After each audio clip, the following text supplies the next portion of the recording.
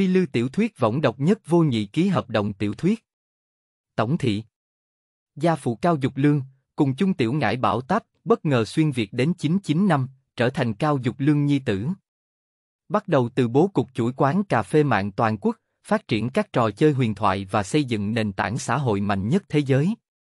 Bắt đầu với Megapixel 3 và trở thành cha đẻ của điện thoại thông minh ngày nay bắt đầu từ một cục pin xe điện nhỏ, trở thành người khổng lồ xe năng lượng mới toàn cầu. Hắn là người dẫn dắt chương trình chip, càng là người sáng lập chương trình tinh liên. Hắn bắt cóc vốn toàn cầu xây dựng kế hoạch mở ra thang trời vũ trụ. Hắn, càng được gọi là Iron Man phiên bản hiện đại. Cao Khải Lan, Cao Tiểu Cầm, Hoàng Hy, Trần Thư Đình. Dưới sự cố ý bồi dưỡng của Cao Kiến Dương. Họ được vinh danh là một trăm phụ nữ quyền lực nhất thế giới. PS. Đây là một cái tổng hợp điện ảnh thế giới, giới thiệu vắn tắt vô lực, mời xem chính văn, mạng tiểu thuyết phi lương nhắc nhở ngài. Bản tiểu thuyết cùng nhân vật chỉ là hư cấu, nếu có giống nhau, chỉ là trùng hợp, chớ bắt chước. Chương 1 Kinh Châu thành phố, gia phụ cao dục lương. Bạn đang nghe tại truyện chấm audio. Mã số 10086, một cái song song thời không. Đầu tháng 3 năm 1999. Thành phố Kinh Châu, trong ký túc xá của quan viên cao cấp. Thông qua tầng tầng kiểm tra an ninh, Cao Kiến Dương căn cứ trong đầu một ít trí nhớ, đi tới một loại loại nhỏ biệt viện trước. Đây là nhà kiểm sát trưởng viện kiểm sát thành phố Kinh Châu Cao Dục Lương. Cao Kiến Dương làm sao cũng thật không ngờ, chính mình tỉnh lại rõ ràng xuyên qua đến thế giới song song. Hơn nữa còn trở thành con trai của Cao Dục Lương và Ngô Thục Phân. Đúng vậy, Cao Kiến Dương chính là con trai của bọn họ. Về phần nguyên bản Cao Phương Phương, tại Cao Kiến Dương ảnh hưởng bên trong, giống như không có cái này tỷ tỷ, cũng hoặc là mùi mùi. Từ điểm này thoạt nhìn vẫn có chút sai lệch. Cao Kiến Dương hít sâu một hơi, đi vào sân hô to với biệt thự. Mẹ, con về rồi. Lập tức liền mang theo hành lễ đi vào viện. Dương Dương. Từ trong phòng đi ra Ngô Thục Phân có chút kinh hỉ. Ngươi như thế nào trở lại, lúc này không phải đang đi học sao? Đi vào nói. Hành lễ với mẹ đi. Không cần, tôi tự làm là được. Được. Thấy vậy, Ngô Thục Phân cũng không nói gì nữa. Trong lòng cảm thán con trai trưởng thành, biết thương mẹ.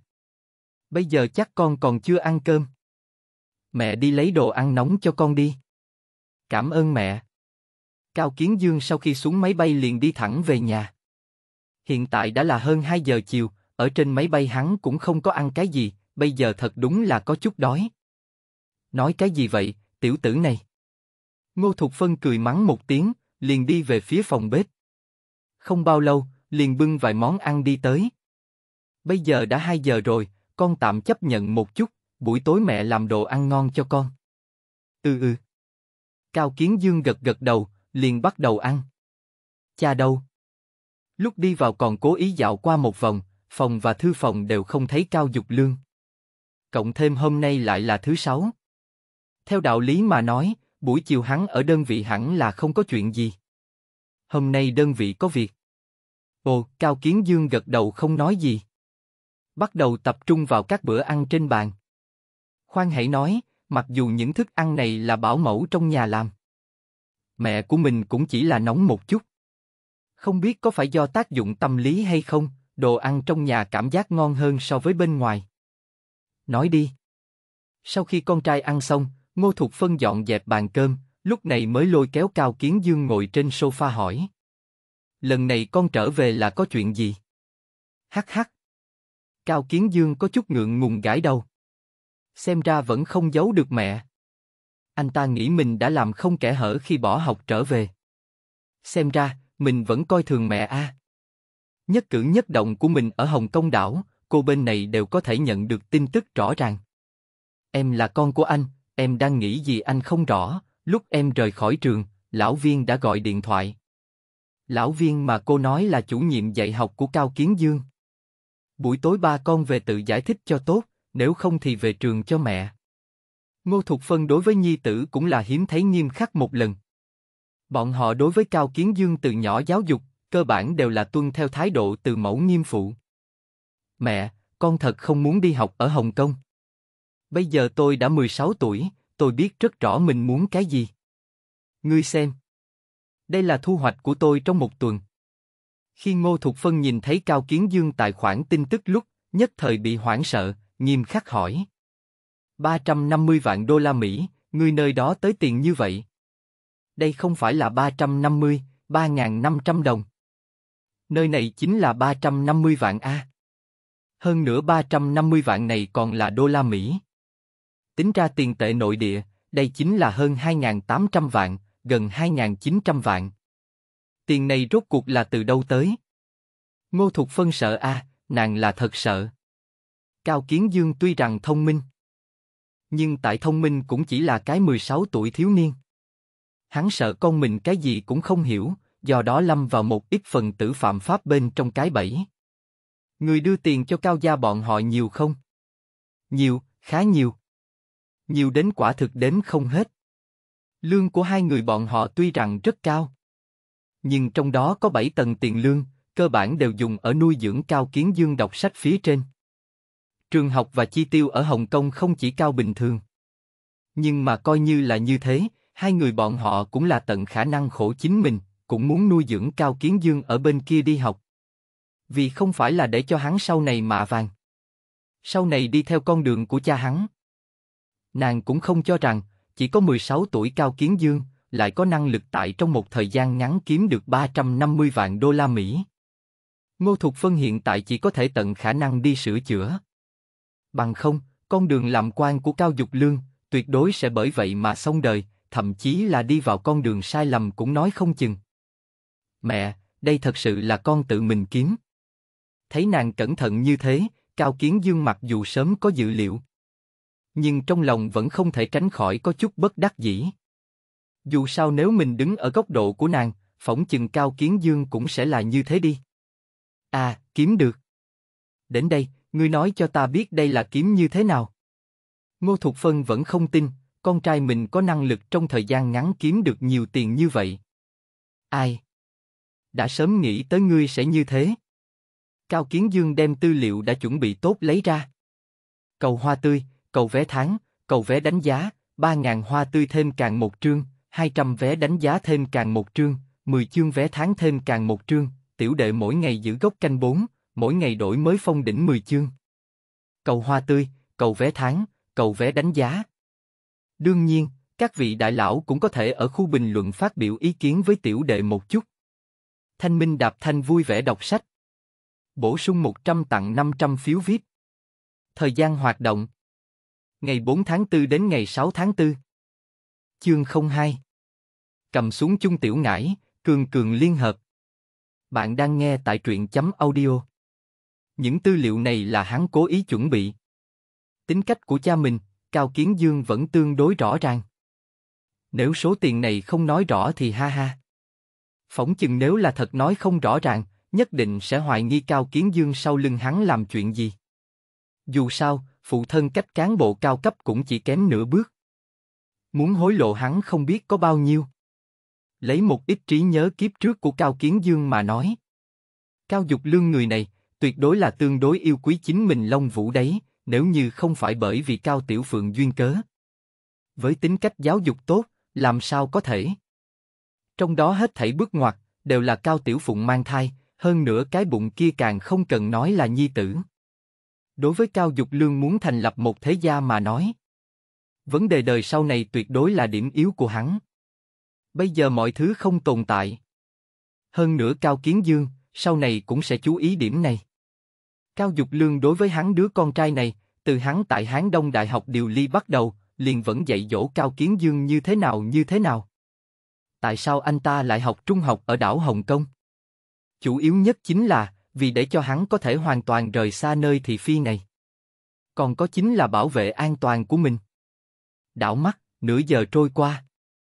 Ngắn ngủn vài trang văn kiện, nguyên bản chỉ cần vài phút, Ngô Thục Phân sững sờ nhìn nửa giờ. Nghĩ gì mà biết cô nhìn kỹ đến mức nào? Không sai, tiền này mẹ bảo quản cho con. Ngô Thục Phân ở trước mặt nhi tử, trực tiếp đem 350 vạn tiền gửi ngân hàng của nàng thu vào. Cao Kiến Dương nhất thời sững sờ tại chỗ, vội vàng ôm cánh tay Ngô Thục Phân nói. Mẹ, sao mẹ có thể như vậy? Nói đùa cái gì, đây chính là Cao Kiến Dương vì chính mình chuẩn bị thùng tiền đầu tiên, vì chính là chấp hành hắn buôn bán kế hoạch, cùng với tiếp theo một loạt kế hoạch. 350 vạn đô la này nếu đổi thành tiền. Theo tỷ lệ trao đổi hiện nay, một đô la Mỹ có thể được đổi thành 8,27 nhân dân tệ nội địa. 3,5 triệu đô la là 28,94 triệu đô la. Hiện tại là 1999 năm đầu năm, Cao Kiến Dương nếu là có số tiền này, tuyệt đối có thể nhanh chóng chấp hành kế hoạch của mình. Internet, công nghệ, điện thoại di động, chip và nhiều hơn nữa. Đây đều là một trong những kế hoạch của Cao Kiến Dương. Kế hoạch nuôi dưỡng lương tâm của phụ thân hắn, vẫn luôn chuẩn bị để cho hắn tiếp tục con đường của mình, đó chính là theo chính trị. Nhưng trong lòng Cao Kiến Dương thập phần rõ ràng. Chính mình làm chính trị, đó căn bản là chuyện không thể nào. Đầu tiên là vấn đề tự do. Chính trị, tự nhiên là không có tự do làm ăn. Còn có chính là mặt khác một ít nguyên nhân, tổng hợp tả hữu Cao Kiến Dương con đường tốt nhất đó chính là theo thương. Được rồi, cứ như vậy đi. Hãy nói với mẹ khi con cần. Đối với con trai Ngô Thục Phân không nói thêm gì. Nhìn thấy phần tư liệu này của con trai, kết hợp với việc con trai nghỉ học ở Hồng Kông, muốn bắt đầu học ở nội địa. Trong lòng Ngô Thục Phân liền mơ hồ đoán được một ít. Mặc dù bà cũng hy vọng con trai mình tham gia chính trị. Nhưng đối với lựa chọn của con trai, bà cũng sẽ không can thiệp quá mức. Chỉ cần hắn có thể vượt qua cửa ải của cha hắn là được. Chỉ là hiện giờ số tiền này, nàng hiện tại nhất định phải thu lại. Bất quá nhiều nhất cũng chỉ là thời gian vài ngày. Ai? Nhìn đi vào phòng mẫu thân, Cao Kiến Dương có chút bất đắc dĩ thở dài. Quên đi, tạm thời để ở nơi nào đi. Dù sao bây giờ tôi cũng không vội dùng tiền. Nhìn đồng hồ, phát hiện mới hơn 3 giờ chiều. Lúc này mới đi vào trong phòng mình. Ở đại viện này có thể nói mình một người bạn cũng không có. Thay vì lãng phí thời gian ở bên ngoài, còn không bằng trở về phòng lên kế hoạch cho tương lai của mình một chút. Bây giờ mới đầu năm 1999. Bong bóng Internet lập tức lan tràn toàn cầu. Hiện nay ngành công nghiệp Internet này, anh vẫn chưa sẵn sàng tham gia. Về phần nói trước thời hạn thu mua tin đau của tiểu mã ca. Ha ha, cái này chơi ý tưởng muốn là được. Người lái xe Mercedes vào thập niên 90, người ta có thể sẽ quan tâm đến mấy trăm ngàn vạn kia của anh sao? Người ta cần chính là tài nguyên, kỹ thuật, mạng lưới quan hệ vân vân. Tin đau tiếp nhận khoản đầu tiên là Lý Trạch Khải, người ta chính là con trai của Lý Siêu Nhân. Bởi vì Lý Siêu Nhân, tin đau mới tiến vào trong tầm mắt các đại tư bản. Lần huy động vốn thứ hai là tờ báo Nam Phi, một công ty được thành lập vào năm 1914. Mặc dù nhóm có lịch sử khá lâu đời, nhưng rõ ràng, công ty này thực ra chính là găng tay trắng. Về phần nhóm này là của ai? Ha ha, vậy nhân giả kiến nhân trí giả kiến trí. Bất quá cao kiến dương phỏng chừng. Tập đoàn này, hẳn là của mình mười mấy năm sau, hoặc là hiện tại Triệu Thụy Long. Dù sao tập đoàn này khẳng định không thể là người nước ngoài. Nghĩ tới đây, Cao Kiến Dương không chỉ nghĩ tới xa xôi kinh thành, vẻn vẹn gặp qua vài lần Chung Tiểu Ngải. Đúng vậy, chính là Chung Tiểu Ngải. Nếu như mình có thể bắt được Chung Tiểu Ngải. Như vậy bất kể là đối với mình, hay là phụ thân mình hôm nay nuôi dưỡng lương tâm, đều là có chỗ tốt tương đối lớn. Sau này hôn nhân của mình như thế nào anh dường như có thể nhìn thấy. Hoặc là, vẫn độc thân. Hoặc là, thành thật thực hiện hôn nhân chính trị. Thân là nam đinh duy nhất của lão cao gia. Muốn lấy một nữ tử tùy tiện. Ha ha, rất rõ ràng đây tuyệt đối là không thể nào. Trong lúc ngươi hưởng thụ thân phận tiện lợi, nhất định phải vì tiện lợi này mà trả giá cái gì? Cuộc hôn nhân của hai cha mẹ anh không thể nào tồn tại. Cầu hoa tươi, cầu vé tháng, cầu vé đánh giá, ba ngàn hoa tươi thêm càng một trương, hai trăm vé đánh giá thêm càng một trương, mười chương vé tháng thêm càng một trương, tiểu đệ mỗi ngày giữ gốc canh bốn, mỗi ngày đổi mới phong đỉnh mười chương. Cầu hoa tươi, cầu vé tháng, cầu vé đánh giá. Đương nhiên, các vị đại lão cũng có thể ở khu bình luận phát biểu ý kiến với tiểu đệ một chút. Thanh Minh Đạp Thanh vui vẻ đọc sách. Bổ sung 100 tặng 500 phiếu VIP. Thời gian hoạt động. Ngày 4 tháng 4 đến ngày 6 tháng 4. Chương 03. Bị nhi tử rung động đến cao dục lương. Bạn đang nghe tại truyện chấm audio. Internet Cao Kiến Dương chuẩn bị 005. Hoặc là, đợi đến năm 01 mới tiến vào. Cho nên phải chuẩn bị vài con bò tiền mặt để dự trữ. Dù sao trình độ đốt tiền của Internet, tin tưởng chỉ cần là người đời sau hiểu rõ Internet, cơ bản đều biết một ít. Con bò tiền mặt đầu tiên, anh chọn quán nét. Tiệm nét bây giờ tuyệt đối là một sản nghiệp của Triêu Dương. 100 vạn đầu tư một tiệm nét, phỏng chừng nhiều nhất hơn nửa năm là có thể nhanh chóng hồi vốn. Hơn nữa hắn còn có thể lựa chọn lấy tình thế cho vay để nuôi. Con bò tiền mặt thứ hai, trò chơi huyền thoại. Cái này không vội, truyền kỳ ít nhất cũng phải không một năm mới có thể đi ra, vừa vặn hắn có thể lợi dụng thời gian 2 năm, hoàn thành chính mình toàn quốc dây chuyền tiệm nét bố cục. Nhà máy điện tử nuôi bò sữa này. Giai đoạn đầu của nhà máy điện tử chủ yếu là Megapixel 3, thậm chí là nghiệp vụ Megapixel 3, từ đó nghĩ biện pháp từ đại lý đi tới nghiên cứu phát triển chất bán dẫn. Để chơi trò chơi này bò mang thai Internet. Vì sau này nghiên cứu phát triển điện thoại di động, đem toàn bộ nền tảng xây dựng tốt. Đây chính là kế hoạch kinh doanh của Cao Kiến Dương. Điện thoại thông minh, xe năng lượng mới. Hoàn thành tuần hoàn ngành nghề trực tiếp giữa hai ngành nghề lớn này. Cái gì là tuần hoàn công nghiệp, nhỏ đến chip, lớn đến một cái điện thoại di động, vỏ ngoài ô tô tất cả đều là của mình. Đó là ý nghĩa của vòng tuần hoàn công nghiệp. Khoảng 5 giờ rưỡi chiều. Cửa phòng Cao Kiến Dương bị gõ vang. Đến thư phòng của ta. Đẩy cửa phòng ra, Cao Dục Lương nhàn nhạt nhìn Cao Kiến Dương ngồi ở trước bàn học. Đi thôi. Cao Kiến Dương sau khi đi ra, Ngô Thục Phân vỗ vỗ bả vai hắn ôn hòa nói. Hảo hảo cùng phụ thân ngươi nói rõ ràng. Ân. Cao Kiến Dương gật gật đầu. liền đứng dậy cầm mấy phần tư liệu đi vào thư phòng phụ thân. Hắc hắc, ba, uống trà. Tại Cao Dục Lương sau khi ngồi xuống, Cao Kiến Dương cầm lấy trên bàn chén cùng lá trà, ngâm xong liền đặt ở trước mặt của hắn. Cao Dục Lương thấy vậy cũng không nói gì. Cầm lấy cái ly thổi một cái, mân một ngụm liền đặt lên bàn, nhìn con trai đứng ở trước mặt. Gần nửa năm không gặp hắn cũng cao lên không ít. Ngồi xuống cùng ta hảo hảo nói một chút. Tại sao cậu lại có ý định bỏ học? Cao Dục Lương không hỏi khoản tiền kia, ngược lại hỏi Cao Kiến Dương vì sao lại nghỉ học. Ba, con muốn học ở trong nước. Lý do? Tôi muốn làm kinh doanh. Cao Kiến Dương biết Cao Dục Lương muốn cho mình đi con đường của hắn. Nhưng hắn thập phần rõ ràng, dựa theo tính chất của mình tuyệt đối không thích hợp đi lên con đường này. Người ở đâu lòng dạ sâu bao nhiêu kẻ ngốc đều biết. Tính cách của mình đâu? Luôn thích đi thẳng. Tính cách như vậy đi theo chính trị, cho dù bối cảnh của ngươi lớn cũng sẽ bị người khác đùa chết. Dựa theo pháp luật hạ quốc chúng ta mà nói, ngươi không biết ngươi về sau đều không được theo thương sao? Tự nhiên là biết.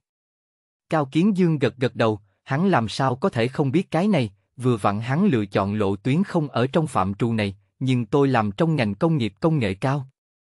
Nghiêm túc mà nói, đây cũng không tính là một phần cấm làm ăn lúc trước. Cao Dục Lương nghe xong không nói gì. Công nghệ cao không nằm trong quy định này. Nói một chút xem. Cao Dục Lương cầm lấy chén trà hứng thú nhìn hắn. Buổi chiều, Ngô Thục Phân đã đem chuyện của tiểu tử này nói một lần.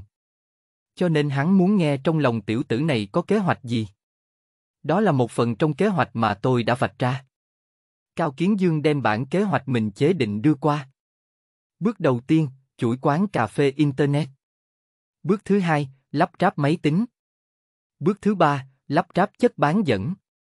Bước thứ tư, nghiên cứu phát triển phần mềm, phần cứng, chip. Bốn bộ kế hoạch trên cũng chỉ là kỳ một. Ngoài ra, Cao Kiến Dương còn có kỳ 2, kỳ 3, thậm chí là kỳ 4, kỳ 5 kế hoạch. Kỳ một kế hoạch đi theo thời gian 2 năm. Chờ kỳ thứ nhất kế hoạch hoàn thành về sau, Cao Kiến Dương sẽ bắt đầu chính mình kỳ thứ hai kế hoạch bố cục, hoặc là sớm bố cục chính mình kỳ thứ hai kế hoạch. Giả tâm của ngươi không nhỏ a, đặt những tư liệu này xuống, Cao Dục Lương không khỏi phát ra một tiếng cảm khái. Bây giờ là thời đại của chủ đề kinh tế. Hiện tại tuy anh làm công tác chính pháp, nhưng cũng không thể cả đời làm chính pháp. Con đường lấy kinh tế làm chủ động hơn con đường lấy chính pháp của ngài. Cao Kiến Dương đem một ít ý nghĩ của mình nói ra. Ngươi nói những thứ này. Cao Dục Lương thở dài. Ta làm sao có thể không biết?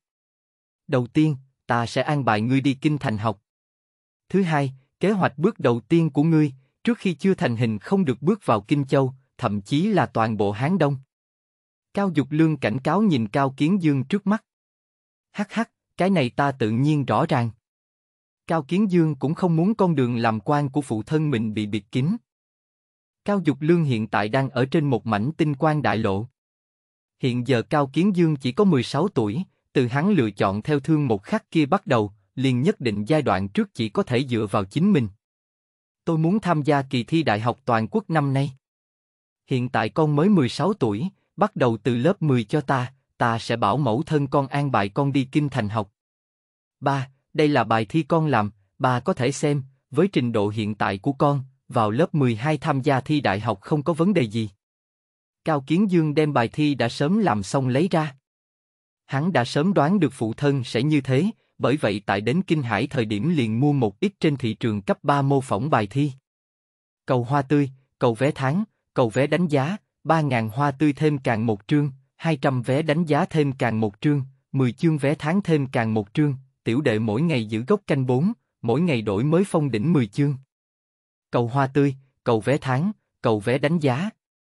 Đương nhiên, các vị đại lão cũng có thể ở khu bình luận phát biểu ý kiến với tiểu đệ một chút. Thanh Minh Đạp Thanh vui vẻ đọc sách. Bổ sung 100 tặng 500 phiếu VIP. Thời gian hoạt động. Ngày 4 tháng 4 đến ngày 6 tháng 4. Chương 04. Có quan hệ không cần đó chính là một đồ đần. Bạn đang nghe tại truyện chấm audio. Được, chuyện này ta suy nghĩ một chút. Cao Dục Lương nhìn xuống cánh tay, lúc này mới ngẩng đầu nói.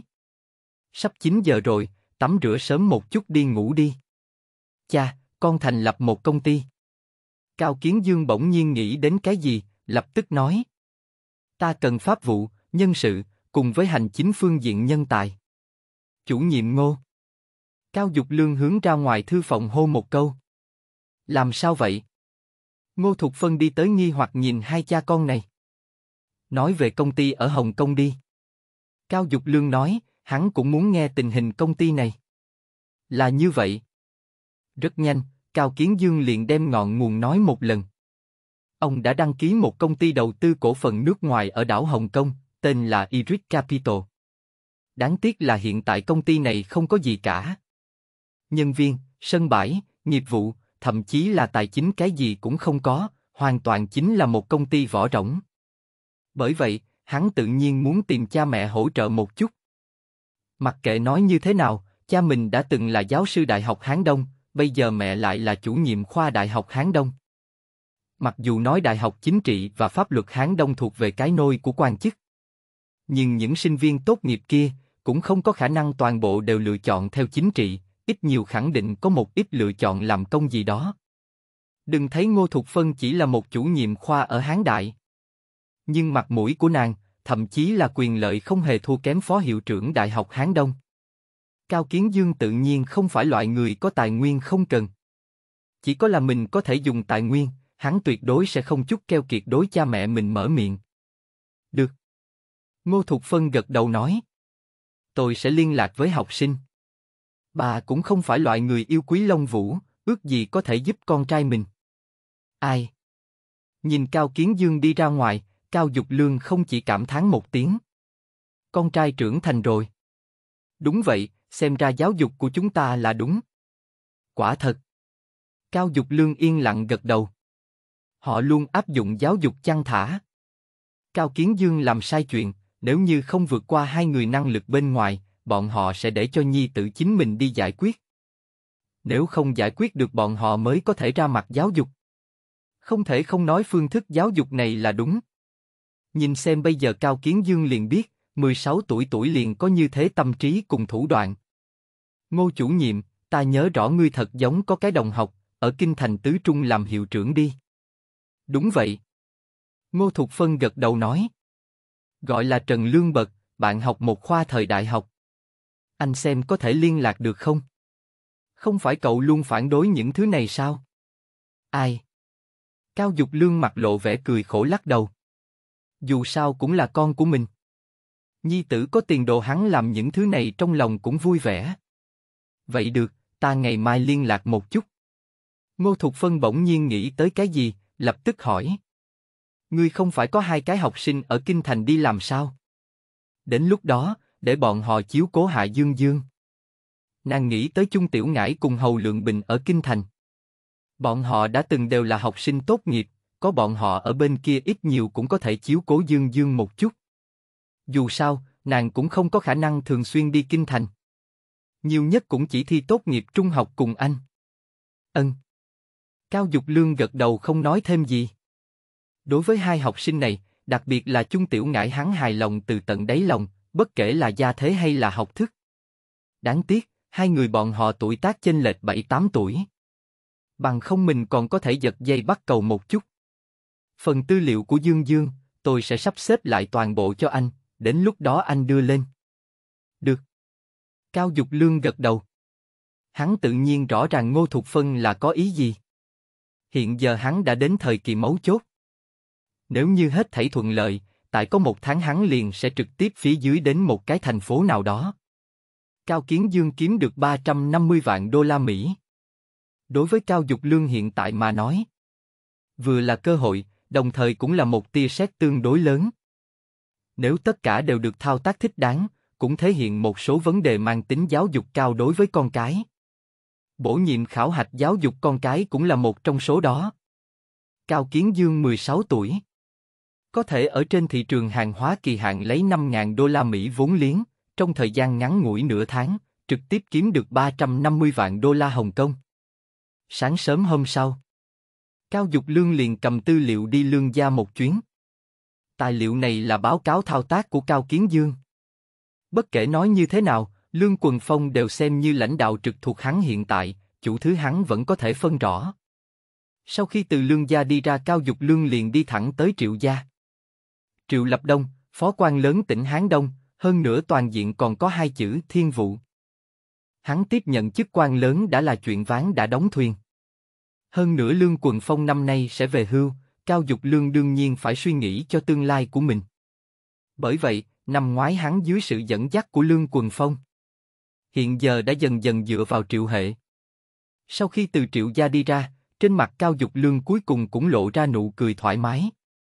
Rất hiển nhiên, chuyến đi này hết thảy thuận lợi. Như thế nào? Sau khi Cao Dục Lương về nhà, Ngô Thục Phân rót một ly trà cho hắn vội vàng hỏi. Hết thảy thuận lợi. Vậy thì tốt rồi. Ngô Thục Phân cười nói. Dương Dương coi như là phúc tinh của con. Đúng vậy. Cao Dục Lương gật đầu cười nói. Tiểu tử này coi như là gián tiếp đẩy một phen. Chờ ngày mốt đi làm, ta cũng có thể yên tâm đem phần tư liệu này giao cho tổ chức. Đồng thời, cũng nói rõ kế hoạch của Cao Kiến Dương với tổ chức. Nhị đại tổng thương cũng không phải đơn giản như vậy. Nếu như là lựa chọn đại lý, vậy hết thảy đều còn dễ nói. Đáng tiếc Cao Kiến Dương đây là chuẩn bị tự mình xuất mã. Cầu hoa tươi, cầu vé tháng, cầu vé đánh giá, 3.000 hoa tươi thêm càng một trương, 200 vé đánh giá thêm càng một trương, 10 chương vé tháng thêm càng một trương, tiểu đệ mỗi ngày giữ gốc canh 4, mỗi ngày đổi mới phong đỉnh 10 chương. Cầu hoa tươi, cầu vé tháng, cầu vé đánh giá. Đương nhiên, các vị đại lão cũng có thể ở khu bình luận phát biểu ý kiến với tiểu đệ một chút. Thanh Minh Đạp Thanh vui vẻ đọc sách. Bổ sung 100 tặng 500 phiếu VIP. Thời gian hoạt động. Ngày 4 tháng 4 đến ngày 6 tháng 4. Chương 05. Kịch bản có chút cẩu huyết A, nhặt được gặp rủi ro. Bạn đang nghe tại truyện chấm audio. Hôm nay, buổi sáng. Cao Kiến Dương ăn xong sớm một chút liền chuẩn bị ra ngoài đi dạo.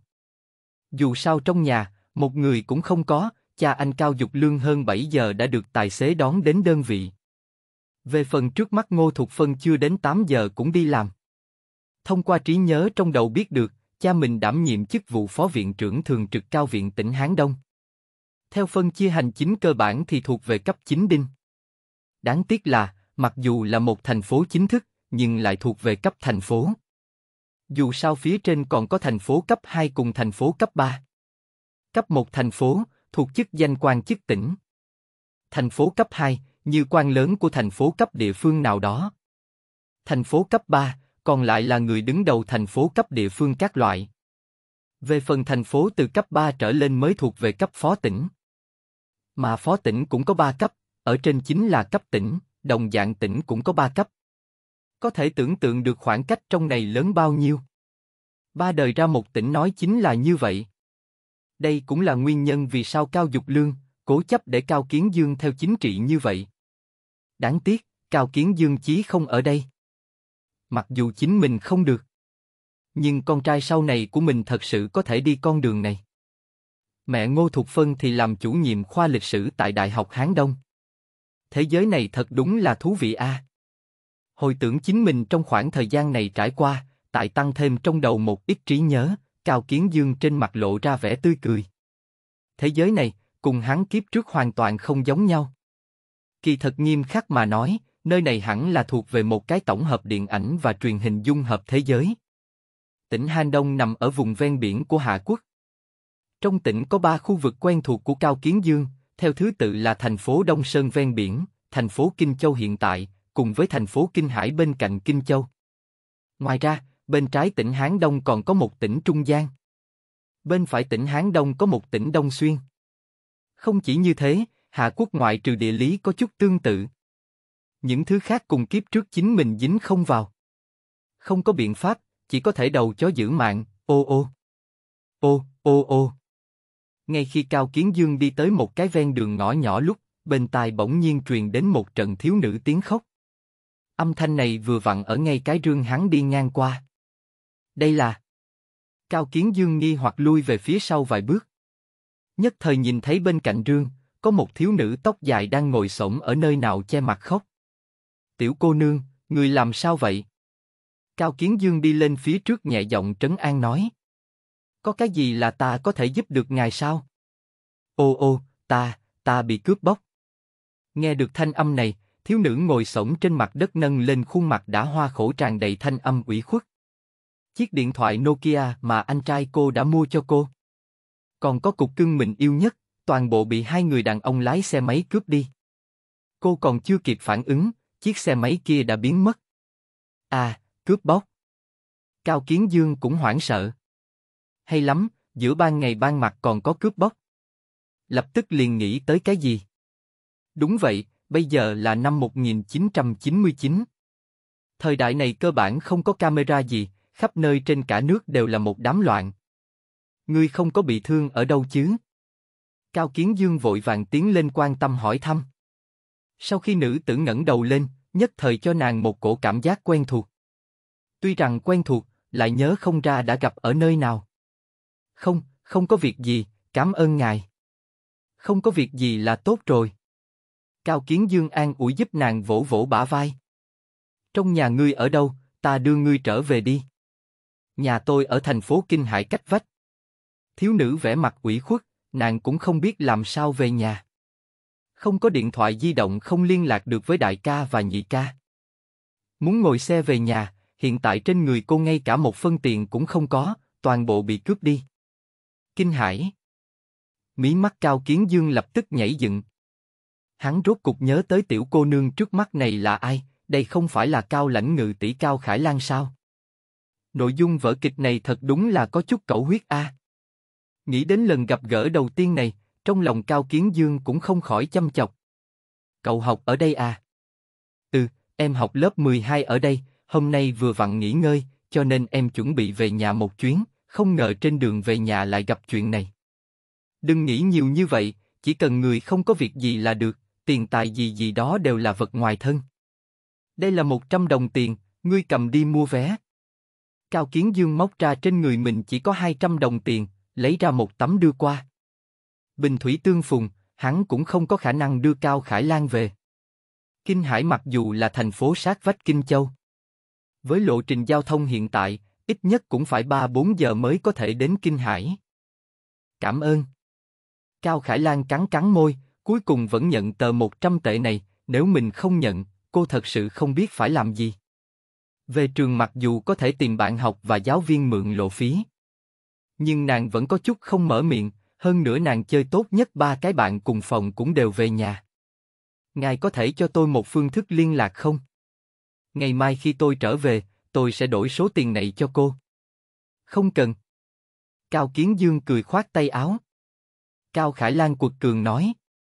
Không được, số tiền này tôi phải trả lại cho ngài, bằng không tôi không cần tiền của ngài. Được rồi. Thấy vậy, Cao Kiến Dương cười cười, lấy ra trên người mang theo giấy cùng bút viết một cái địa chỉ. Ta cũng không có điện thoại di động, đây là địa chỉ của ta. Cậu đến thì nói tìm Cao Kiến Dương bọn họ sẽ biết. Thanh Minh Đạp Thanh vui vẻ đọc sách. Bổ sung 100 tặng 500 phiếu VIP. Thời gian hoạt động. Ngày 4 tháng 4 đến ngày 6 tháng 4. Chương 06 Cao Khải Mạnh Tiểu muội, ngươi cái này cứu mạng ân. Bạn đang nghe tại truyện chấm audio. Ngài cũng họ Cao. Cao Khải Lan có chút kinh ngạc nhìn hắn. Cao Kiến Dương cũng là cười hỏi. Đúng vậy, chẳng lẽ ngươi cũng họ Cao sao? Ừ, tôi tên là Cao Khải Lan, ngài có thể gọi tôi là Tiểu Lan, không chừng 500 năm trước chúng ta vẫn là một nhà. Hai người cứ như vậy trò chuyện một bên hướng bến xe đi đến. Bởi vì bến xe khoảng cách này chỉ có 1-2 km, Cao Kiến Dương cũng coi như tản bộ. Ngươi về sau đừng nhúc nhích, coi ta là bằng hữu, về sau đừng gọi như vậy. Ừ ừ. Đảo mắt, chính là một giờ trôi qua. Cao Khải Lan cũng đã mua xong vé xe đi Kinh Hải. Sau khi xe buýt khởi động, Cao Khải Lan đẩy cửa sổ thủy tinh ra hô to với Cao Kiến Dương bên ngoài xe. Anh Dương, tạm biệt. Ừ, tạm biệt. Cao Kiến Dương cười phất phất tay. Cứ như vậy đứng tại chỗ nhìn xe khách đi xa. Sau khi mang xe khách rời khỏi tầm mắt của mình, Cao Kiến Dương lúc này mới đi về phía nhà. Xem ra kịch bản còn chưa bắt đầu. Nói như vậy, con bướm này tạm thời còn chưa kích động cánh, cụ thể cũng có thể tiếp tục nhìn xem đang nói. Đối với việc thay đổi Cao Khải Cường, lấy được kinh hải gì đó. Nói thật, Cao Kiến Dương thật đúng là không có hứng thú. Bởi vì giữa hai người bọn họ căn bản không cùng một cấp bậc. Hậu trường lớn nhất của Cao Khải Cường là Triệu Lập Đông. 20 năm sau, cũng chính là tại hắn đỉnh cao nhất thời điểm. Có thể ngay cả Cao Dục Lương hiện tại cũng không sánh được, càng không cần phải nói là 20 năm sau so sánh. Ha ha, cái này hoàn toàn không cùng một cấp bậc. Lúc ấy hậu trường lớn nhất của Triệu Lập Đông, cũng chính là Hà Lê Minh mà tỉnh phái từ trung xuống, tuy rằng lúc đó hắn cũng là phó tỉnh. Nhưng nếu bàn về địa vị thì vẫn không thể so sánh với tương lai. Đây là chỉ không có cao kiến dương phụ trợ. Về phần hiện tại, ha ha. Hết thảy đều đã có chút khó nói. Cho nên nói, hắn đối với một kinh hải nho nhỏ hoàn toàn chướng mắt. Cho dù là Trần Thái, cũng chính là cái gọi là Thái Thúc. Sau khi biết thân phận của hắn, hắn cũng phải khách khí. Chờ bảy tám năm sau. Ha ha, Cao Kiến Dương tùy thời có thể thu thập hắn. Đừng nói là Trần Thái, ngay cả Cao Minh Viễn của Lục Đằng cũng là như thế. Tóm lại một câu. Cao Đại Thiếu Gia ngươi chướng mắt những nhân vật nhỏ này. Sự tự tin này. Tất cả đều là do địa vị của cha hắn mang đến. Thành phố Kinh Hải, phố nhà máy cũ. Lúc Cao Khải Lan về đến nhà đã hơn 6 giờ tối. Ca. Về đến nhà, nhìn thấy đại ca của mình, nước mắt Cao Khải Lan trong nháy mắt không chịu thua kém chảy xuống. Lan Lan, ngươi làm sao vậy? Thấy em gái tư thái như thế, Cao Khải Cường nhất thời có chút không biết làm sao, vội vàng đi lên phía trước quan tâm hỏi. Nói cho đại ca, ngươi rốt cuộc làm sao vậy? Mặc kệ xảy ra chuyện gì, có đại ca ở chỗ này. Anh, em bị người ta cướp rồi. Nhìn đại ca trước mắt, Cao Khải Lan đã muốn tìm được người tâm phúc, Lê Hoa Đái Vũ ông Cao Khải Cường kể lại sự tình một lần. Không có việc gì, chỉ cần người không có việc gì là tốt rồi. Cao Khải Cường vội vàng an ủi em gái mình. Điện thoại di động và tiền bạc đều là việc nhỏ, chỉ cần em gái mình không xảy ra chuyện gì hết thảy đều vạn sự đại cát. Ca, lần này có thể trở về còn phải cảm ơn một người. Ăn cơm trước, cơm nước xong sẽ nói tỉ mỉ với anh. Cao Khải Cường cũng không hỏi nhiều, hắn biết bây giờ không phải lúc hỏi những vấn đề này, cho dù muốn hỏi cũng phải đợi tâm tình của em gái ổn định lại. Ân, ca. Nhìn anh trai đi nấu cơm, Cao Khải Lan yên lặng gật đầu. Rất nhanh, dưới tay nghề tinh xảo của Cao Khải Cường, một món ăn thơm ngào ngạt cứ như vậy ra lò. Nào, ăn cơm trước. Những thứ này đều là ngươi thích ăn. Cao Khải Cường đặt bát đũa trước mặt em gái. Cảm ơn anh. Nha đầu này. Cao Khải nhìn em gái cưng chiều. Sau khi ăn xong, Cao Khải Lan đem chuyện của Cao Kiến Dương nói ra. Địa chỉ này. Nhìn địa chỉ em gái đưa tới, Cao Khải Cường nhất thời có cảm giác quen thuộc.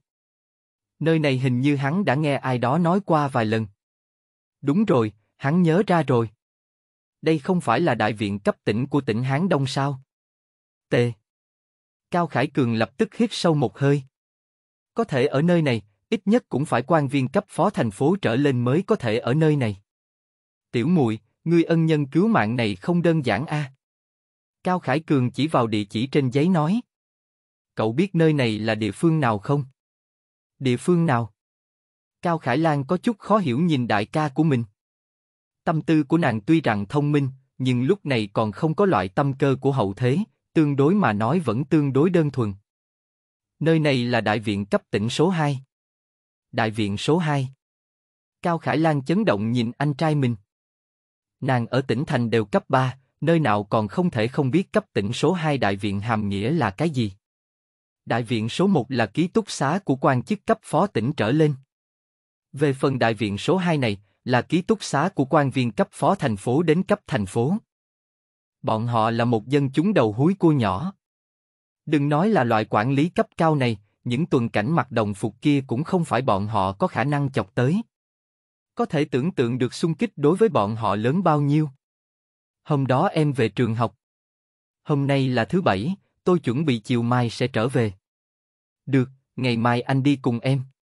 Thuận tiện cảm ơn người ta. Đương nhiên, Cao Khải Cường cũng có chút tâm tư của mình. Thanh Minh Đạp Thanh vui vẻ đọc sách. Bổ sung 100 tặng 500 phiếu VIP. Thời gian hoạt động. Ngày 4 tháng 4 đến ngày 6 tháng 4. Chương 7. Nghĩ biện pháp để lão ba thăng cao hơn 7. Bạn đang nghe tại truyện chấm audio. Kinh Châu, viện số 2 cấp tỉnh. 2 giờ trưa hôm nay, Cao Khải Cường mang theo một ít rau dưa và cá tươi, mang theo Cao Khải Lan đi về phía này. Những loại rau này vẫn là Cao Khải Cường tự mình trồng. Các ngươi làm nghề gì?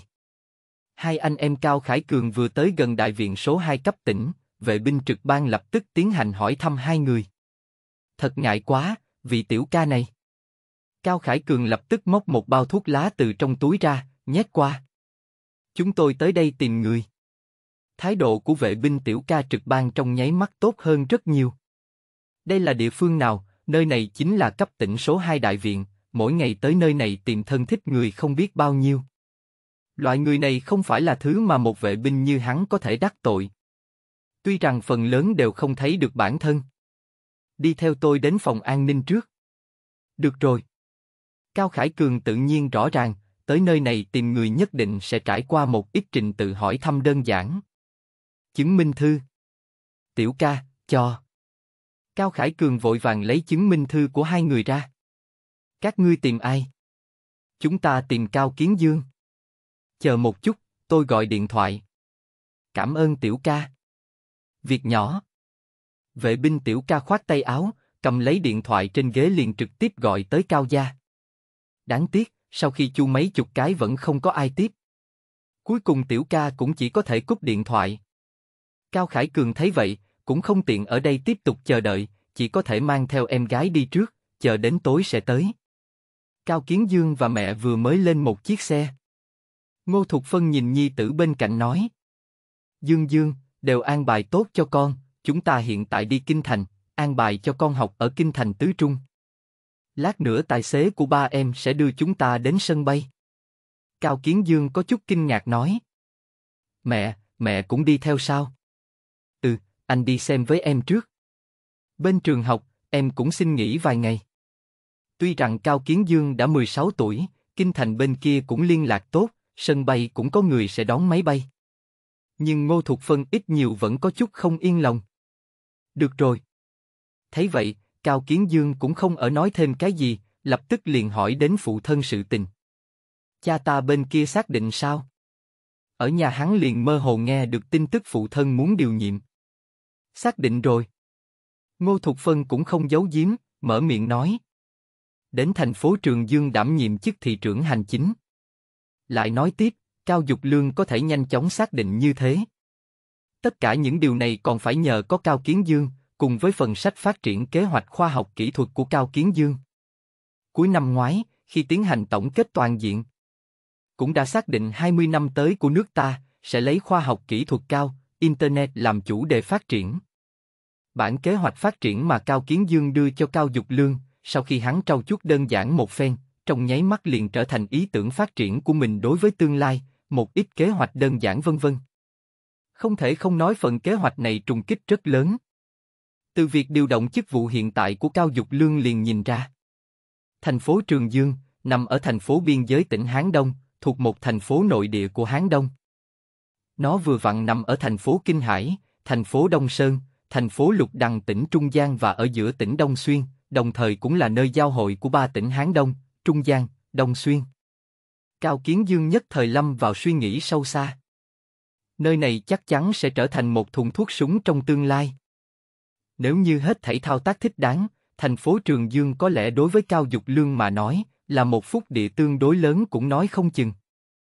Nếu có thể phát triển kinh tế thành phố Trường Dương, tương lai thăng lên thành phố cấp phó tỉnh cũng không nói nổi. Nghĩ tới đây, Cao Kiến Dương nhìn không được phun tào nói. Như thế nào mới hành chính thị trưởng A, ta còn tưởng rằng trực tiếp đi qua đảm nhiệm người đứng đầu đâu. Nếu đảm nhiệm chức vụ người đứng đầu thì không gian thao tác khá lớn. Tiểu tử ngươi, nghĩ cái gì vậy?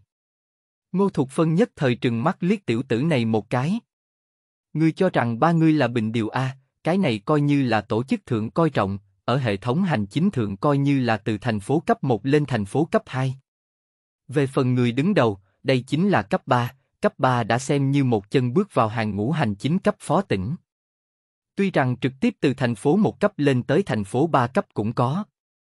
Bất quá cũng là tương đối ít, loại tình huống này cơ bản đều là địa phương nào đó đã nát bét, mặt trên chuẩn bị tiến hành đại phẫu. Cũng chỉ có loại tình huống này mới có khả năng nhảy dù. Kỳ thật đây cũng coi như là nhược điểm của cao gia chúng ta. Nếu như con có thể phát triển, chờ cha qua đời con có thể trực tiếp mang theo một ít sản nghiệp đi đầu tư. Nói như vậy, đến lúc đó quyền lên tiếng cũng coi như lớn một chút. Đúng vậy à. Ngô Thục Phân nhịn không được gật gật đầu. Di, khi xe chạy đến cửa chính thời điểm, Cao Kiến Dương nhất thời bị nhìn thấy từ gác cổng đi ra Cao Gia huynh muội. Làm sao vậy? Không có việc gì, một người quen. Cao Kiến Dương lắc đầu, lập tức liền vỗ vỗ tài xế bả vai. Phía trước hỗ trợ dừng xe, cảm ơn. Được rồi. Tài xế vội vàng dừng xe bên cạnh Cao Khải Lan. Sau khi đẩy cửa xe ra, Cao Kiến Dương vui mừng nói. Tiểu Lan, sao em lại tới đây? Dương ca. Cầu hoa tươi, cầu vé tháng, cầu vé đánh giá, ba ngàn hoa tươi thêm càng một trương, hai trăm vé đánh giá thêm càng một trương, mười chương vé tháng thêm càng một trương, tiểu đệ mỗi ngày giữ gốc canh bốn, mỗi ngày đổi mới phong đỉnh mười chương. Cầu hoa tươi, cầu vé tháng, cầu vé đánh giá. Đương nhiên, các vị đại lão cũng có thể ở khu bình luận phát biểu ý kiến với tiểu đệ một chút. Thanh Minh Đạp Thanh vui vẻ đọc sách. Bổ sung 100 tặng 500 phiếu VIP. Thời gian hoạt động. Ngày 4 tháng 4 đến ngày 6 tháng 4. Chương 08. Đi Kinh Thành, hầu hiện ra bình thản chung tiểu ngải tiếp. Bạn đang nghe tại truyện chấm audio. Cậu chuẩn bị ra ngoài sao? Cao Khải Lan nhìn chiếc Audi A4 trước mặt nghi hoặc hỏi. Ừ, em chuẩn bị đi Kinh Thành học. Ồ, Cao Khải Lan trong nháy mắt có chút mất mát, bất quá rất nhanh liền kịp phản ứng, từ trong túi lấy ra 100 đồng nói. Ngày hôm qua vẫn là muốn cảm ơn ngươi. Không cần, chờ sau này em kiếm tiền thì trả lại cho anh. Cao Kiến Dương đẩy bàn tay nhỏ bé của cô một cái. Còn chưa kịp Cao Khải Lan nói, Cao Khải Cường bên cạnh vội vàng đưa tay cảm tạ. Xin chào, tôi tên là Cao Khải Cường, là anh trai của Tiểu Lan, hôm qua còn phải cảm ơn anh đã giúp đỡ. Không có việc gì, tin tưởng ai nhìn thấy đều sẽ như thế. Cao Kiến Dương nắm tay hắn cười nói. Vốn mang đến cho ngươi một ít đặc sản của chúng ta. Không sao, để ở đây là được, lát nữa trực tiếp bảo gì trong nhà tới lấy, thuận tiện cho ba em nếm thử. Được, được. Cao Khải Cường vội vàng đặt mấy thứ này xuống gác cổng. Đây là điện thoại của ta, ngươi có thể tùy thời gọi điện thoại cho ta liên lạc. Cao Kiến Dương đem một tờ giấy nhỏ đưa cho nàng. Đây là một chiếc điện thoại di động hắn cố ý đi mua ngày hôm qua. Vì chính là có thể thuận tiện một chút. Ân. Tôi đi đây, có rảnh thì gọi điện thoại liên lạc. Dù sao bèo nước gặp nhau, Cao Kiến Dương cũng không nói thêm gì. Về phần sau hết thảy phải xem tạo hóa của hai người đi. Xuyên qua đến thế giới này sau. Hắn vẫn tuân theo cái loại tâm tính tùy tâm sở dục này. Cao Kiến Dương trong ánh mắt không nở của Cao Khải Lan, ngồi lên xe dần dần rời khỏi tầm mắt của hắn. Tiểu Lan, đi thôi. Ồ, hai huynh muội cứ như vậy đều có suy nghĩ rời khỏi nơi này. Cao Khải Lan đối với Cao Kiến Dương là mối tình đầu. Tại chính mình khó khăn nhất thời điểm, Cao Kiến Dương phản phất từ trên trời giáng xuống bình thường, cho nàng lớn lao trợ giúp. Mà Cao Khải Cường lại tương đối không cam lòng với hiện trạng. Hắn muốn thay đổi, thay đổi cuộc sống của người bán cá. Nguyên bản Cao Kiến Dương để cho hắn nhìn thấy một tia hy vọng. Đáng tiếc, hiện tại hy vọng tan vỡ. Nếu như Cao Kiến Dương vẫn còn, Cao Khải Cường có thể nghĩ biện pháp mượn hắn một chút thế, từ đó từ từ thay đổi hiện trạng của mình. Cô gái kia là ai vậy? Trên xe Audi, Ngô Thục Phân tò mò hỏi một câu. Nàng không phải là người có dục vọng khống chế đặc biệt mạnh, nhưng đối với người bên cạnh nhi tử, cơ bản đều sẽ hỏi đến. Nàng cũng không hy vọng bên cạnh nhi tử có người không đứng đắn. Nếu như con trai trưởng thành còn tốt, Ngô Thục Phân tự nhiên sẽ không hỏi đến cuộc sống của nó. Nhưng hiện tại Cao Kiến Dương dù sao mới 16 tuổi. Thậm chí nghiêm khắc mà nói, hắn ngay cả 16 tuổi đều không có, chờ 13 tháng 7 qua sinh nhật mới là 16 tuổi. Hiện tại cũng chỉ là 15 tuổi, 16 tuổi hư. Có cô cũng không hy vọng con trai yêu sớm. Cô gái kia, là một cô gái tôi cứu trên đường hôm qua, khi cô ấy bị cướp, trên người không có xu dính túi. Cao Kiến Dương thấy chuyện ngày hôm qua đơn giản nói một chút. Bất quá cũng xác thực, bọn họ dù sao cũng không có gì, cũng không có gì khó nói. Ân. Ngô Thục Phân gật gật đầu, chẳng hề để ý nói. Sau này ít lui tới với cô ấy. Mẹ, mẹ. Cao Kiến Dương lúc này cũng có chút bất đắc dĩ. Mẹ nó, chính là thích dẫm cao nhìn thấp. Nói một câu có chút khó nghe, tính cách của nàng kỳ thật cùng lương lộ thật đúng là kém không nhiều lắm. Bất đồng chính là Ngô Thục Phân một ít đều là để ở trong lòng. Đối với người khác, có lẽ Ngô Thục Phân sẽ không nói, nhưng đối với đứa con trai này tự nhiên là không có cố kỵ gì. Cái gì gọi là ngươi cái này ngươi cái kia? Dì lương của con. Nói đến đây, Ngô Thục Phân cũng ý thức được nói sai, lúc này không tiếp tục nói tiếp nữa. À! Mẹ, sao dì lương lại ở cùng một chỗ với sư huynh? Sau này tôi sẽ gọi cô ấy như thế nào? Tiếp tục gọi cô ấy là dì lương, hay là chị dâu? Ai? Chuyện của cô ấy thì không nói nữa. Ngô Thục Phân đối với chuyện của Lương Lộ hiện tại cũng không dễ đánh giá. Dù sao chỉ cần chính nàng cảm thấy hạnh phúc là được. Sân bay Kyoto Cao Kiến Dương và mẹ hắn vừa đi vào đại sảnh đón máy bay. Từ xa đã nhìn thấy một đôi nam nữ, trên tay người đàn ông cầm một bó hoa tươi, người phụ nữ thì xách một cái túi sách. Bọn họ chính là Hầu Lượng Bình và Trung Tiểu ngãi đến đón máy bay. Sư nương, tiểu sư đệ, nơi này. Hầu Lượng Bình phất tay với hai người. Hầu ca, sao ngươi lại tới đây? Tiểu tử này, xưng hô này khi nào thì có thể sửa lại. Người bình thường ta còn không gọi hắn như vậy đâu. Cao Kiến Dương cười cười, lập tức nói với Trung Tiểu ngãi. Tiểu Ngải tỷ tỷ. Từ Chung Tiểu Ngải cười gật đầu, lập tức liền mang theo Ngô Thục Phân bên cạnh hắn hô. Sư mẫu, đã lâu không gặp, người càng ngày càng xinh đẹp. Tiểu Ngải, miệng em vẫn ngọc như vậy. Sư nương, tặng cho ngài. Thấy hai người chào hỏi xong, Hầu Lượng Bình lập tức đưa hoa hồng đã chuẩn bị xong lên. Có tâm rồi. Ngô Thục Phân cười nhận lấy bó hoa hồng này. Hầu Lượng Bình cười nói. Ta vẫn nhớ sư mẫu thích nhất là hoa hồng. Nhìn xem đang cùng mẫu thân nói chuyện phím Hầu Lượng Bình, bên cạnh Cao Kiến Dương, cứ như vậy cười nhìn hai người, giờ phút này ai cũng không biết hắn đang suy nghĩ cái gì. Cầu hoa tươi, cầu vé tháng, cầu vé đánh giá, ba ngàn hoa tươi thêm càng một trương, 200 vé đánh giá thêm càng một trương, 10 chương vé tháng thêm càng một trương, tiểu đệ mỗi ngày giữ gốc canh bốn, mỗi ngày đổi mới phong đỉnh 10 chương. Cầu hoa tươi, cầu vé tháng, cầu vé đánh giá. Đương nhiên, các vị đại lão cũng có thể ở khu bình luận phát biểu ý kiến với tiểu đệ một chút. Thanh Minh Đạp Thanh vui vẻ đọc sách. Bổ sung 100 tặng 500 phiếu VIP. Thời gian hoạt động.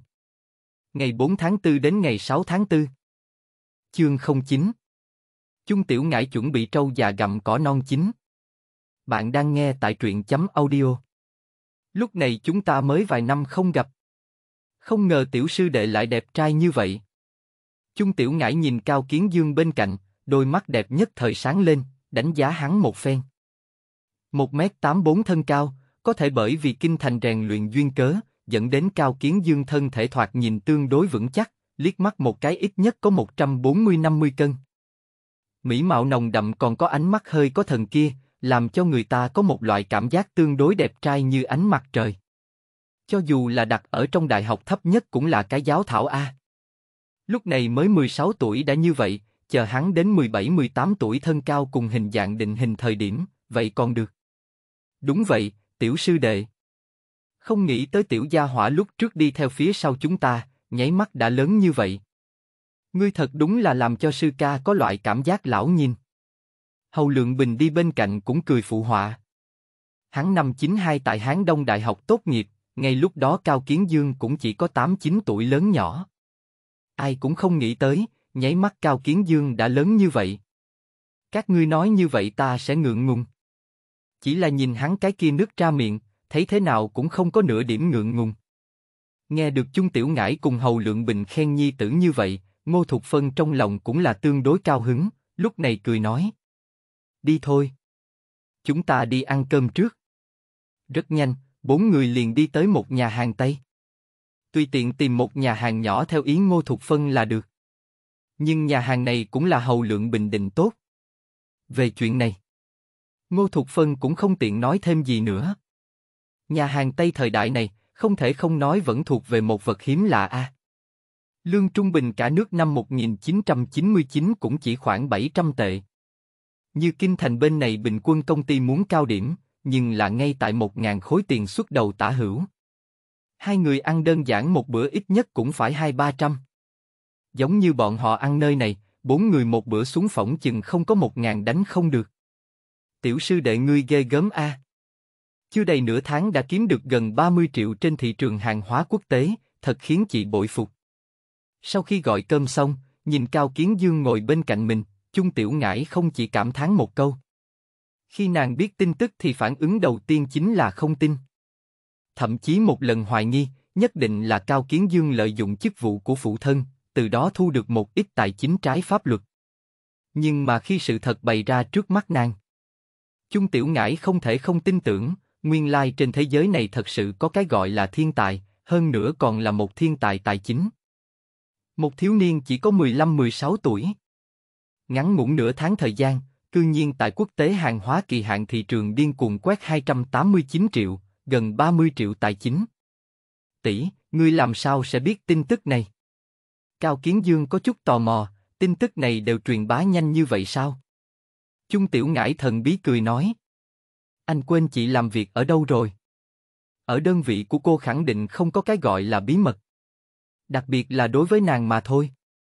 À, cũng đúng nha. Cao Kiến Dương lúc này mới phản ứng lại. Vì trước mắt này chính là làm việc ở trọng kế ủy A. Phụ thân mình vốn đã báo cáo, những tin tức này tự nhiên là không giấu được một số người bên trong. Nói với tỷ tỷ xem, lúc đó tiền vốn của tỷ là bao nhiêu? Cũng không bao nhiêu, chỉ mấy ngàn đô la. Cái gì, mấy ngàn đô la? Khuôn mặt Chung Tiểu Ngải tràn đầy khiếp sợ nhìn anh. Đúng vậy, chỉ mấy ngàn đô la. Bất quá ta sử dụng đòn bẩy thao tác gấp 200 lần. Đáng tiếc a. Nói tới đây, Cao Kiến Dương nhất thời một trận hối hận. Nếu như ta lúc ấy sử dụng 400 lần đòn bẩy thật tốt a. Ngươi a, ngươi muốn không biết đủ như vậy. Tiểu ngải tỷ tỷ dạy dỗ chính là, chờ ta lần sau nghỉ ngơi, tìm cơ hội đi thao tác một chút. Có cơ hội gì, mau nói với tỷ tỷ. Hiện giờ chung tiểu ngải mới 24 tuổi, còn không có vênh váo tự đắc như sau này, càng không có ổn trọng như sau này. Đương nhiên, có lẽ đây cũng chỉ là cùng cao kiến dương mà thôi. Nếu như là kỳ đồng vĩ các loại, đối với Chung Tiểu Ngải mà nói có thể lại là một loại thái độ. Nhìn Chung Tiểu Ngải đang nói chuyện phím với con trai, Ngô Thục Phân bỗng nhiên hỏi Hầu Lượng Bình bên cạnh. Lượng Bình, con và Tiểu Ngải chuẩn bị khi nào thì kết hôn a? Cái này. Trong phút chốc, không khí lập tức yên tĩnh lại. Không chỉ Hầu Lượng Bình sắc mặt thay đổi, ngay cả Chung Tiểu Ngải đang cùng Cao Kiến Dương nói chuyện phím sắc mặt tự hồ cũng có chút không tốt lắm. Rõ ràng là họ không muốn tiếp tục nói về chủ đề này. Sư mẫu, hiện tại rất sốt ruột, người cũng biết con mới làm việc chưa được mấy năm, hiện tại chính là thời điểm phấn đấu, chờ thêm vài năm nữa sẽ nói. Cuối cùng, vẫn là Hầu Lượng Bình nặng ra vẻ tươi cười. Ngô Thục Phân tự nhiên chênh lệch đến không thích hợp, lúc này liền chuyển đề tài, tán gẫu tới thời điểm bọn họ từng ở đại học. Chung Tiểu Ngải ngồi đối diện cũng không còn tinh thần như lúc nãy.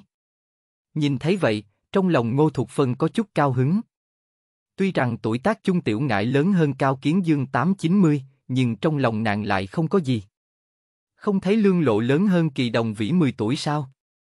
Lương lộ tuy rằng sống không hạnh phúc, thường xuyên không có việc gì liền tới tìm cô oán giận những thân thích của kỳ đồng vĩ. Nhưng cao gia bọn họ sẽ giống như gia đình kỳ đồng vĩ sao?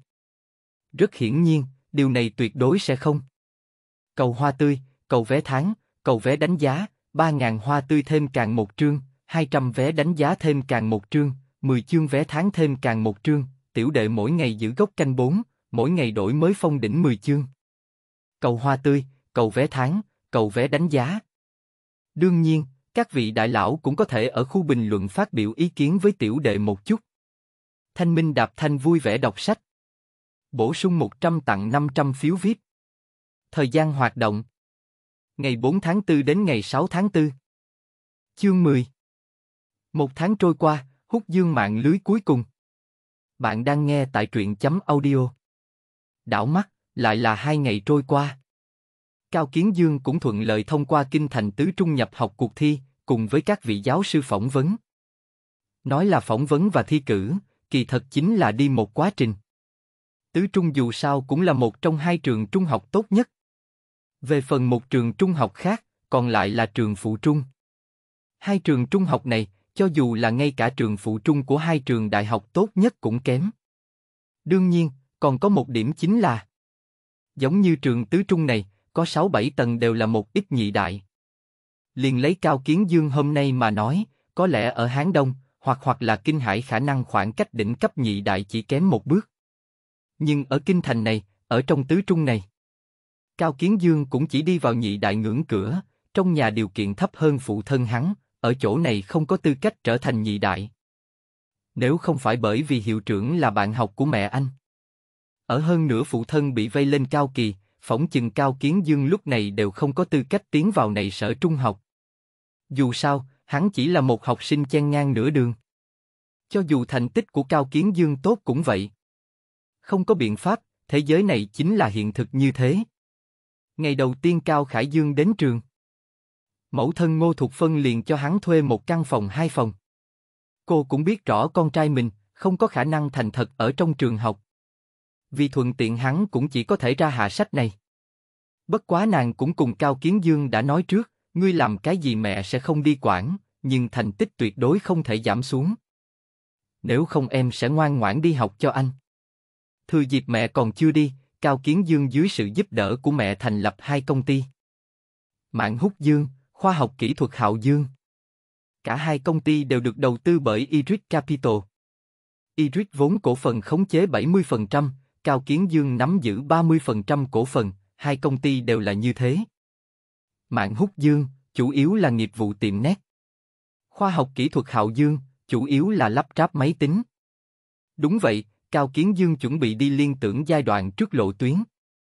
Bất quá Hạo Dương khoa học kỹ thuật giai đoạn đầu, cũng chỉ là cái giá trống, coi như muốn lắp ráp máy tính, cũng nhất định hút dương Internet sạp trải lên mới được. Không thể không nói, có quan hệ chính là tốt a. Nguyên bản làm những giấy tờ này, ít nhất cũng cần một hai tháng, thậm chí là khoảng ba tháng. Dù sao quy trình làm việc của niên đại này hiểu đều hiểu. Nhưng dưới sự giúp đỡ của Ngô Thục Phân, những chuyện này cơ bản đã được giải quyết trong thời gian vài ngày. Ngô Thục Phân sau khi chuyện này xảy ra cũng trở về Kinh Châu. Chủ nhật đầu tiên sau khi nhập học. Cao Kiến Dương rốt cục thành lập công ty mạng Hút Dương. Hiện tại công ty chỉ có một người. Người này là Giang Tịnh, trước mắt nhậm chức tổng giám đốc công ty mạng Hút Dương. Hắn là một nữ sinh đại học mới tốt nghiệp mà Cao Khải Dương tuyển dụng ở chợ nhân tài, tốt nghiệp Đại học Ma Đô, thuộc chuyên ngành quản lý hành chính. Trước mắt 23 tuổi, tốt nghiệp một năm, vốn làm công tác quản lý một xí nghiệp ở Dương Thành. Cao Kiến Dương cho nàng đãi ngộ là 12 cộng 6 tiền lương. Một tháng tiền lương 3.500 đồng, giải thưởng cuối năm là 6 tháng tiền lương. Về phần nói trực tiếp cho cổ phần, chia làm gì đó. Ha ha, Cao Kiến Dương có thể làm không được, thật coi tiền của hắn là nước lớn bay tới. Nếu như người ngươi tìm trâu bò thì quả thật không có gì để nói. Nhưng cậu là một sinh viên vừa tốt nghiệp, cho dù cậu tốt nghiệp đại học danh tiếng, có tư cách gì đi đòi cổ phần hoặc là chia sẻ. Đang nói, tiền lương ba ngàn rưỡi này tuyệt đối thuộc về giá cao. Dù sao đây chính là 1999 năm, cả nước bình quân thu nhập hàng năm cũng ngay tại 7.000 tả hữu, kinh thành thuộc về nhất tuyến thành trì tương đương mà nói muốn cao một chút, bình quân thu nhập tại 1,2 vạn trên dưới. Cho nên 3.000 năm tháng tiền lương này tuyệt đối là lương cao. Giống như người phỏng vấn lúc trước, không chỉ mở miệng đòi 10 vạn lương một năm, còn muốn 5% cổ phần. Ha ha, ngươi cho ta có bao xa lăn bao xa đi. Vào ngày Giang Tịnh phỏng vấn thành công, Cao Kiến Dương liền mang theo nhân viên đầu tiên của mình đón xe đi thành phố đại học. Không đúng, hẳn là nơi tụ tập của trường đại học. Kinh thành bây giờ, còn không có cách nói này của sinh viên đại học.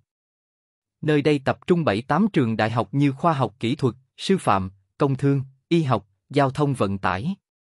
Cuối cùng, bọn họ chọn một cửa hàng ăn uống ở ngã tư đường Đa Bảo và đường Dương Quang Bắc. Cửa hàng này đang cho thuê lại vì lý do kinh doanh ảm đạm. Toàn bộ cửa hàng tổng cộng có 3 tầng, đây là một tòa nhà nhỏ độc lập, hai tầng phía trên vẫn là sau này xây thêm. Ba tầng cộng lại tổng cộng có hơn 800 mặt bằng, trong đó chiếm diện tích ước chừng 350 mét vuông, lầu 2 có 270 phẩm, lầu 3 chỉ có 210 mét vuông. Nguyên bản chỉ là muốn thuê cao kiến dương, cuối cùng không biết như thế nào cư nhiên lấy 168 vạn giá cao mua. Đúng vậy, cả tòa nhà giá 168 vạn. Bình quân một bình cũng chỉ cần 2.000 một. Giang Tịnh lần đầu tiên biết tài lực của ông chủ nhỏ này. Chuyện bên này xử lý xong hắn liền không quản nữa.